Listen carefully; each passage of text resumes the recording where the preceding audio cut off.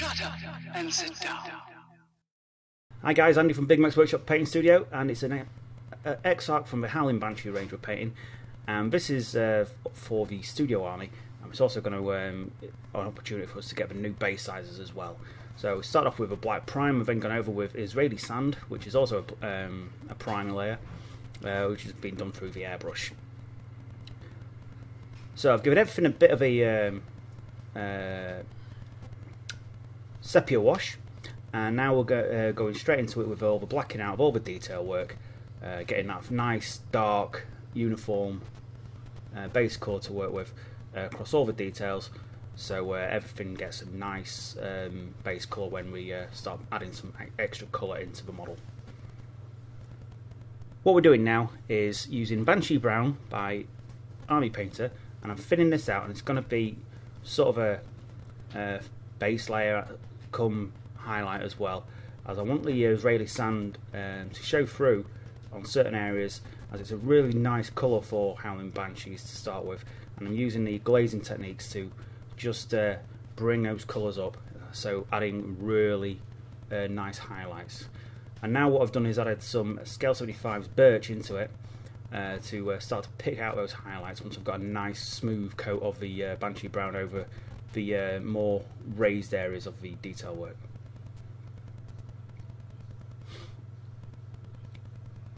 So now, after the um, birch has gone down, I'm just using some ivory by Model Colour, and this is going down as a final edge highlight. So I want it to be a, um, a yellowy bone colour rather than a white. Uh, so the ivory just makes much more sense to uh, uh, use as the final highlight rather than a white, as it just uh, keeps a touch of yellow in there, makes it more bone-like rather than uh, more ghostly.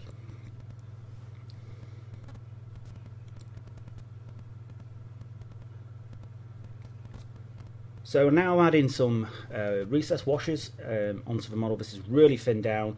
It's Seraphim Sepia again, and uh, it's just adding some nice um, rich colours into the recess areas, um, just to uh, add some more colour to the um, to the armour, and it just uh, breaks up some of those uh, really vib vibrant white uh, armour plates. Um, just adding that little bit more bone colour into it. So back in with the ivory again, uh, just to tidy it all up. And uh, this is uh, just adding those final edges again, um, wherever the wash had um, tainted some of the highlights. And it's just bringing up those uh, final points. As you can see, making the armour really pop. Um, the cool thing about Eldar is, is our armour shapes is really nice. So you've got plenty of movement on, on the armour, really making it look interesting.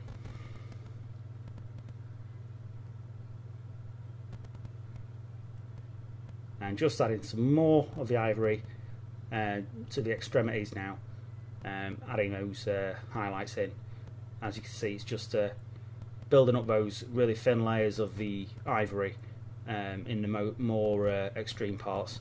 Just adds those really nice spot highlights just to make it really uh, stand out.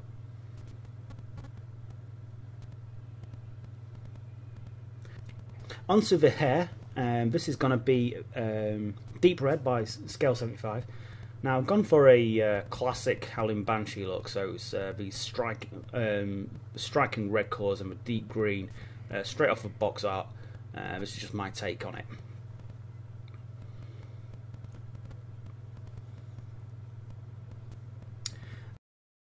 Onto the, uh, the uh, helmet, and the faceplate has been left white. the actual helmet itself is um, going to be done in uh, green colour, just like in the box art, um, using a base of Caliban green to get the nice uh, rich colour on there. Uh, it's a really good colour to work with, um, and the Scale 75s um, have a nice range what go with it really, um, really well, and just uh, adds those nice highlights to it, nice and gentle. The uh, level work is getting done in um, model uh, Vallejo's game colour Dark Flesh Tone. Uh, this is a colour what I uh, I hadn't expected to use uh, for some time. As you can see, it's a very nice, um, rich, leathery colour. It really adds a lot of uh, depth to the model. uh, alongside all those real pale colours.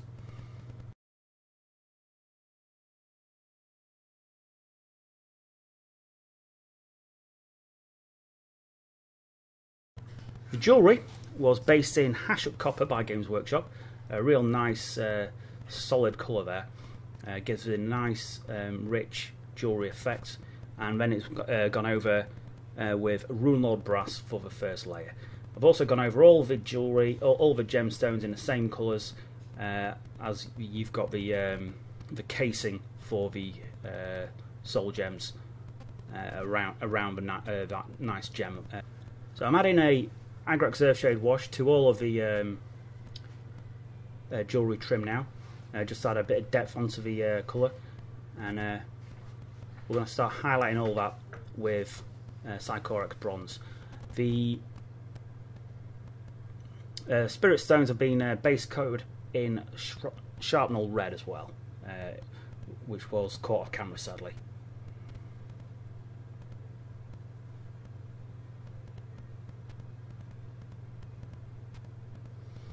The Sycorax bronze obviously just leading on uh, the highest points of the armor of the jewelry. This is uh, just to give that fine, nice highlighted uh, effect to it.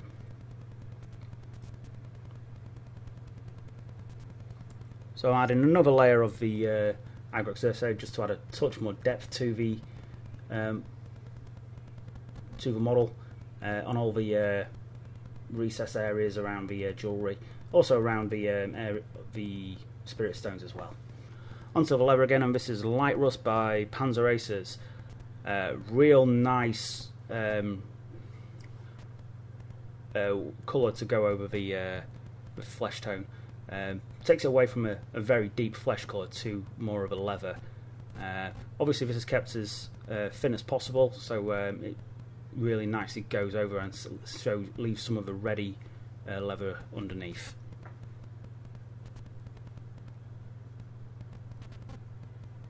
So I've now added a touch of Cokem copper into the uh, mixture. As you can see, just uh, makes it a little bit more orangey, but um, the with the layers being so thin, you see, still seeing uh, the darker colours underneath, and just brings out those uh, highlights nice. And you're going to start getting a really interesting mixture um, on on all that um, on all the pouches and the leather strapping. So this is pretty much pure Cokem copper now. I'm just um, focusing on the uh, leading edges. As you can see, I'm just starting to feather uh, the edges, leave a little bit of texture and the colour, uh, darker colours underneath. I'm just starting to um, keep the, um, the areas I'm highlighting very, very narrow.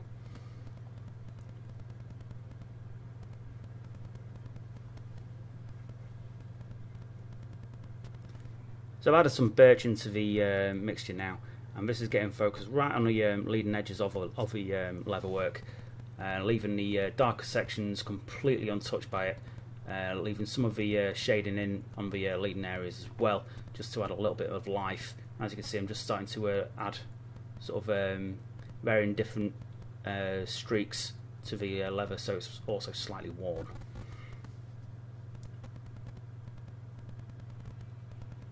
And a little bit more birch in there just to uh, add some flaws into it.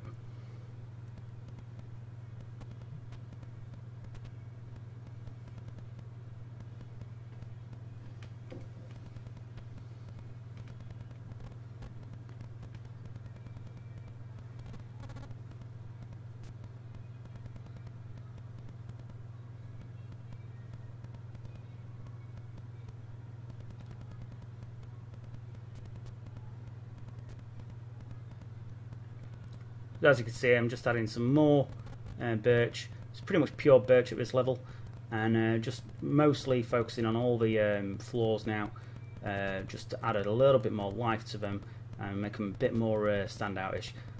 Uh, obviously, you don't need to go this far. Uh, it's just obviously for a tutorial, we'll go we'll do a little bit more work than normal.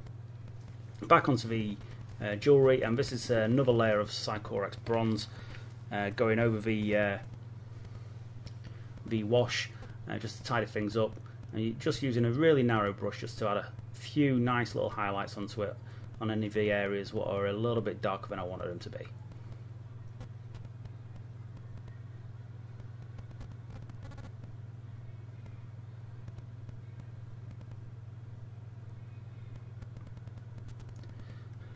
Got another highlight with bright brass now. This is just to really brighten the leading edges up as we're going to go up a little bit more on the uh, most extreme edges and the, uh, the high points just to uh, make them a little bit more fancy. Onto the uh, cloak, this uh, added some Scale 75's greenskin flesh. Uh, again, this is about 50-50, just to start brightening up those robes and the cloak areas and the helmet.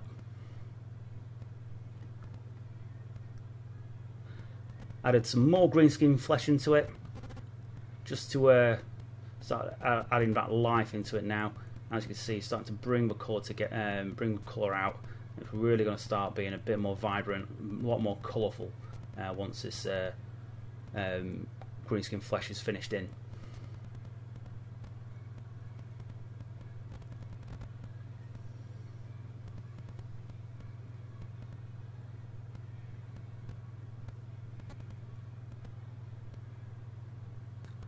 So I've added some Irati green now, which is quite a vibrant green, and this is uh, just going to start bringing that colour up really nicely. You're going to start uh, really adding some life to the uh, hotspots of the uh, robe and around the helmet, uh, around the uh, face plate, just to uh, makes it stand out a little bit more, add a bit more colour into it. Added some more Irati green now. As you can see, it's just uh, onto the edges now, just right on the uh, lead points uh, with a really narrow brush. And we're just uh, making those uh, colours really pop out. So it makes it look a lot more interesting. There's a, a nice amount of light uh, reflecting off the um, piece now.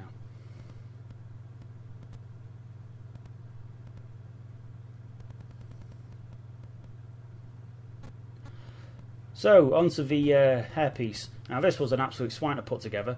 Uh, comes the uh, he- head itself comes in four separate pieces, and the hair is in three of those. Uh, this is uh, blood red going over the um, the nice dark red there. Um, I'm picking out um, leave. I'm picking out the majority of the uh, texture, but I'm leaving some of the deeper colours um, there in the recesses. I'm also only focusing on the upper areas now. So a little bit of Antares red is going onto it as well, uh, doing exactly the same thing, uh, but obviously on a more narrow stage.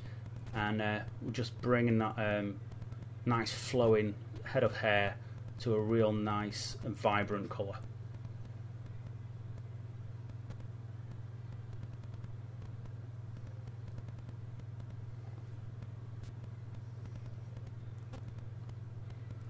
So uh, it's now a bit of Aldebaran red. Um, you've seen me use this mix before. As you can see, it's just adding a, nice bit more of an orangey red, making it look a bit more flame-like, a bit more lifelike.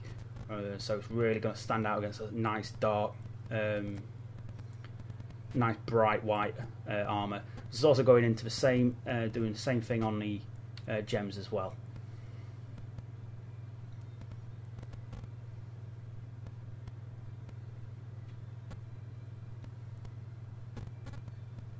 So there we have it. I've just gone back onto the um, jewellery. I've gone a, a touch of uh, heavy metal just on the uh, most extreme points, and obviously I've, put, uh, I've done, finished the power blade, uh, which I hadn't decided what colour to do, um, so I did that off camera. As always, um, a lot of fun to paint this one, and I've uh, also just finished the squad, uh, obviously to a slightly lower level. But thank you for watching this. We've thrown a pin wash on, and that really did add, add an extra amount of depth the model really sort of brings out the uh, detail work. As always, though, we've got some huge thank yous to make. Uh, so thank you to our patrons and obviously you guys who uh, sit and um, subscribe to our videos. So uh, massive thank yous to our patrons, which are the Orc Boys, Matt, Ludwig Hofbauer, D Wack, Mark, Dave, and Tom. You're our um, top paying patrons, and we couldn't do this without you. Also, huge thank yous to the Outpost, uh, local gaming company based in Sheffield. Really good guys, uh, really helpful. If you want to buy any um, reduced price models for uh, or equipment from uh, any other ranges what you're interested in, uh, check them out through our link in the description. You get normal 15 to 20% off, and also we get 5% store credit at no cost to you, so that helps out a massive amount. Anyway, guys, I hope you enjoyed this video, and I shall catch you in the next one. Take care, and we'll see you soon. Bye bye.